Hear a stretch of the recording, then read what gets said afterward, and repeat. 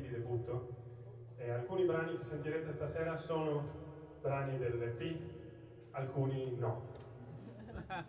Il prossimo sì. Moma!